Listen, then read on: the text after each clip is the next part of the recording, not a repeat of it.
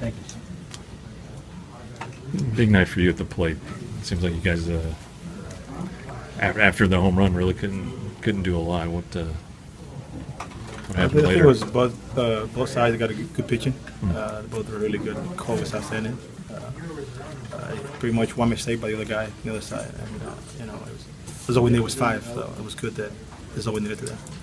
you guys sweat it out there in the ninth. Trout up. It's to make it a little bit. Uh, it's making it a little bit, but you know, uh, at the end, uh, Claudio got, got the job done.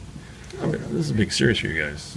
Got to got to start on the right foot, I guess. Yeah, I, you know, especially with chasing these guys, and uh, it is nice that uh, get the first round of the way and at least trying to win the series and see how it goes. Uh, every series for us is huge right now, and uh, we're not trying to uh, to uh, you know to jog around here. We're trying to win, and uh, that, that's the way we'll have to show. Come back here and win the series and go forward and do the best we can.